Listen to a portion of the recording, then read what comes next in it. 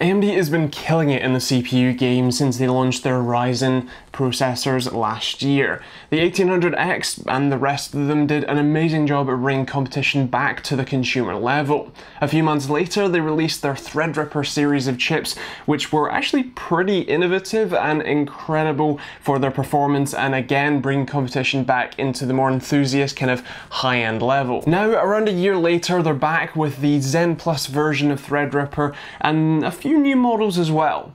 The one that you're going to hear all of the big tech channels talking about today is the 2990WX. That is the 32 core monster of a chip and it's kind of insane. The only chip I have though is the lowly uh, 2950X which is the replacement for last year's 1950X. Still boasts 16 cores and 32 threads but now with a 4.4 GHz boost clock and 3.5 GHz base. Now since I didn't get my hands on last year's Threadripper chips nor the high-end i9s from Intel's range, I can't really do a proper in-depth comparison, and so this video is going to be a little bit more, well, I guess less traditional. If you're interested in an in-depth comparison with 300 games and benchmarks and applications uh, across, you know, 400 different CPUs, then go check out AnandTech's review. They do a fantastic job, and Ian Cutress is incredibly detailed when it comes to benchmarking these sorts of chips. So if you want that sort of intricate comparative detail, then go check that out. But if you're interested in finding out what this chip actually has to offer, especially in the more real world, and you know who would want it, why you might even consider picking this up, and if I'd be interested in one myself, then this video is for you. First, we need to answer why you'd want this besides bragging rights. If you just want a game, this isn't for you. It'll game just fine and we'll show you that in a second, but if you are solely gaming, then go pick up a 26 or 2700X or an 86 or an 8700K, because those are the chips for you. This, this is for content creators, this is for programmers, this is for AI and deep learning, and for people who want to do all of those things all at the same time. This is an incredible bit of kit with an actually really impressive price tag to go with it at $899. Of course, when you compare that to your standard, you know, 2700X at the sort of $350 price point, that seems like a very expensive chip, but when you compare it to anything even close in terms of performance, this looks like an incredible value. Intel's 7900X, which is a 10 core, not 16, uh, is actually $100 more at just shy of $1,000 rather than just shy of 900, making this just uh, an incredible value for money. It still has 64 PCIe lanes and four of which still go to the chipset, meaning you have 60 available lanes to play with.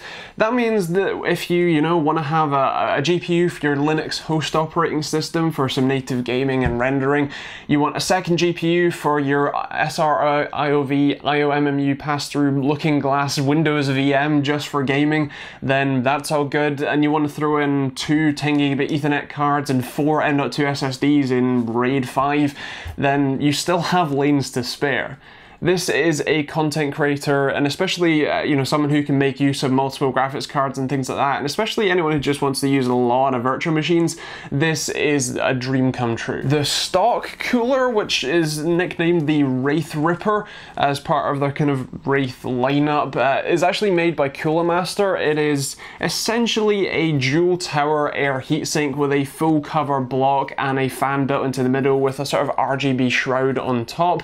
It's actually a completely sold separately thing. There are no coolers that come in the box with a Threadripper. When you get a Threadripper, this is actually all you get. But the, I suppose, stock cooler, the Wraith Ripper, is actually an incredibly impressive cooler. Keeps the 2950X perfectly cool. I think it maximum I saw was 71 degrees Celsius. And while I wasn't doing synthetic Prime 95 loads or anything, this was kind of real world things. Even with stuff like Cinebench running, which does provide 100% load, uh, it was still, as I said, that 70 71 maximum and still fairly quiet. It's not silent, but it's still pretty impressive. You can pick up an AIO like this one, which is an Enermax Liquitech 240 TR4. It is specifically designed for the, the socket and for Threadripper to be a full cover block, and while this will perform a little bit better than that, will likely be a bit cooler, uh, you don't necessarily need this, and even with the full cover block, while you don't need it, and you could go with a standard, you know, H100i Pro or whatever, uh, it does benefit it a little bit just because of how large these chips physically are. So let's talk about the bit you've all been waiting for, which is the performance. Starting off with a few synthetic results, uh, Cinebench is a pretty decent benchmark and easy to compare between. So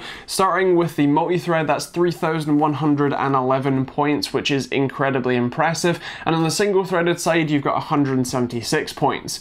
That means that on the multi-threaded side, there really isn't many chips that can beat this, and certainly nothing anywhere near this price range. But on the single-threaded side, you're getting basically 2600X, 8600K levels of performance, which for a 16 core processor is, again, uh, just very impressive. In terms of 3D Mark Fire Strike's physics score, this was sitting at 27,400 points, give or take a couple, but that's incredibly impressive as well, especially when you look at the, again, price comparator 7900X as being, I think, about like 23,000 points, so a pretty big difference and a, fair lead, especially when it comes to price. Moving to more real-world testing, I threw on the Blender BMW render. This is quite a common one, so you can look up other performance results to, to compare if you fancy, but long story short, the BMW render on the CPU only took 2 minutes and 35 seconds. To compare that to some other results I've found for the other chips, the 7980XE apparently took a little bit longer, took around about 3 minutes, which means that this chip, at least in theory anyway, likely thanks to its higher overall base and boost clocks, means that it's actually a, a bit faster, at least in this specific task. In Adobe Premiere Pro, rendering a 4K 30fps 30 megabytes per second file, which is a actually the Ryzen second generation unboxing video, which while normally has After Effects elements in it, those were removed for the sake of just, you know, comparative testing. Um, so with that, the Threadripper chip, the, the 2950X, was running uh, an 8 minute and 22 second render with a uh, with the GPU, it was around about 5 minutes, but to compare that to the Ryzen 1700 that I use for most of my rendering, at least initial rendering, that one took, uh, I believe, 14 minutes and uh, 29 seconds, so a good bit longer, almost double, uh, and obviously, you know, there's slightly different clock speeds and stuff like that, but it's still an impressive, impressive render. And finally, in gaming, I had a bit of an issue with GTA 5 where I just couldn't get it to run as well as I expected it to. Many of the, you know, kind of lower core chips were running fine, and I don't know whether this is a bug with GTA, the graphics card, the chip itself, or anything else, but um, I was running at 152 FPS on very high settings at 1080p with a GTX 1080 Ti.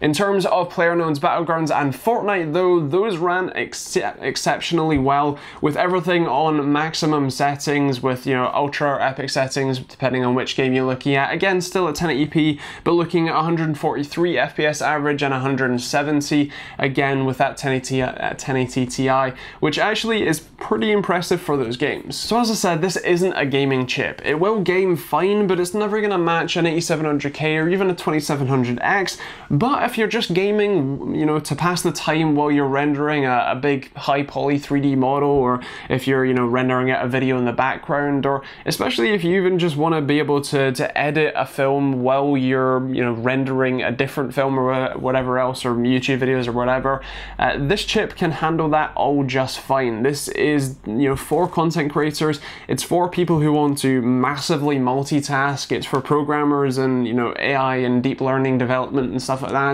and really anyone who can make use of a whole load of cores. At $899, pounds, euros, and similar pricing around the world, this is an incredible value. I know that I've said that already, but it just really is kind of shocking how great value this is, especially when you compare it to the competition.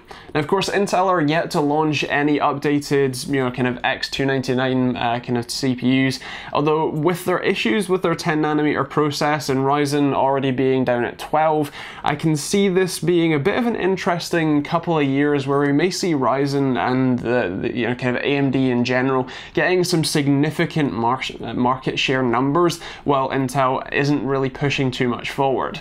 I will be looking forward to seeing what Intel's Z390 chipset has to offer and especially if they're bringing even higher core counts to the desktop but in terms of their enterprise or I guess enthusiast grade stuff this is just currently unbeatable. Now to answer the question that I put in all of these videos would I put this in my rig?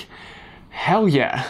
Of course, this isn't a gaming chip, so uh, my FPS would suffer a little bit compared to my 1700X that's overclocked to 3.8 gigahertz, but honestly, am I okay losing 5, 10 FPS here or there on my 1440p monitor that I have G-Sync on anyway, and it's 144 hertz and I can just turn down a few settings, while I'm also rendering and, you know, 3D modeling and, I don't know, cooking lighting for game development all at the same time?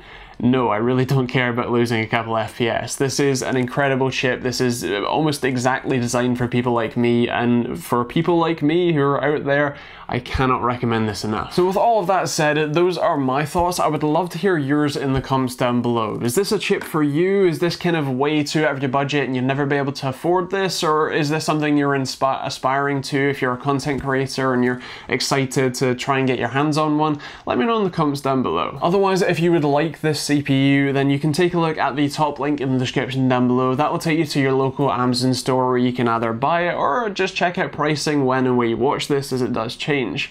If you want to check out some more videos on Threadripper, then I will do my best to get them out. This is going to be a launch video, so there won't be any yet, but make sure you're subscribed with notifications on for future videos. Of course, there are plenty of other ones over there that you can check out. Of course, you can check out the Ryzen 2 videos as well. If you want to support the channel and keep me making these videos on a Monday, Wednesday, and Friday basis with live streams on Thursday evenings, then take a look at the links in the description. There's a Patreon link where you can support me directly, or Amazon and Overclock UK affiliate links, which also massively help me out when you buy stuff using those links. It doesn't cost you anything, just helps me out. There's also plenty of other stuff, including merch where you can pick up t-shirts like this one or a few other cool designs, so take a look at that. Otherwise, as I said, check out the other videos over here. If you have any questions, leave them in the comments down below, and otherwise, thank you for watching, and we'll see you all in the next video.